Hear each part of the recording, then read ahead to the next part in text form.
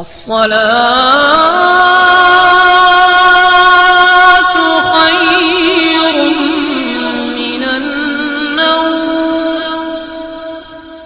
السلام علیکم ورحمۃ اللہ وبرکاتہ۔ میرا نام شاویز خان ہے اور آپ دیکھ رہے ہیں آپ کا اپنا چینل شاویز نیٹ ورک اگر آپ ہمارے چینل پر نئے آئے ہیں، تو چینل کو سبسکرائب کر کے بیل نوٹیفیکیشن آن کر دیں تاکہ آپ کو ہماری آنے والی ویڈیو سب سے پہلے مل سکے۔ آئیے ویڈیو شروع کرتے ہیں۔ کامنٹس باکس میں اپنا نام لکھ کر جائے۔ اللہ سبحانہ و تعالی آپ کی تمام پریشانی کو دور کر دے عافیت کے ساتھ۔ آمین، ثم آمین۔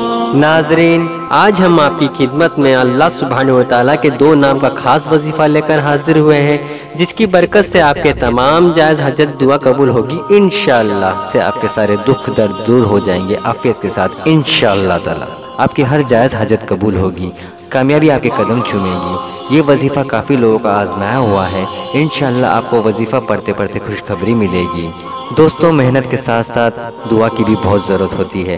اسی بات کو دھیان میں رکھتے ہوئے ہم نے آج اللہ سبحانہ تعالیٰ کا صفاتی نام کا وظیفہ آپ کی خدمت میں پیش کر رہے ہیں، جس کی برکت سے آپ کی تمام جائز حجت دعا قبول ہوگی انشاءاللہ۔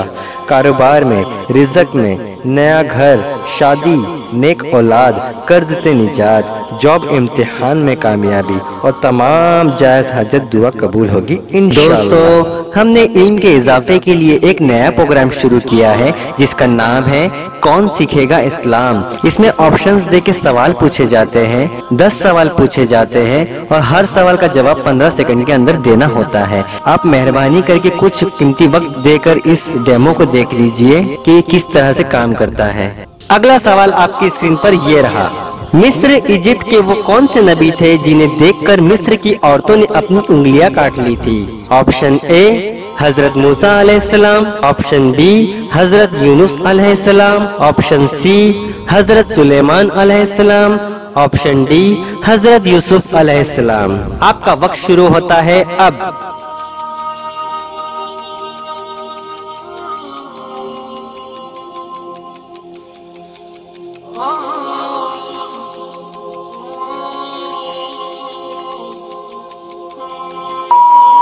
اس کا صحیح جواب ہے آپشن ڈی حضرت یوسف علیہ السلام۔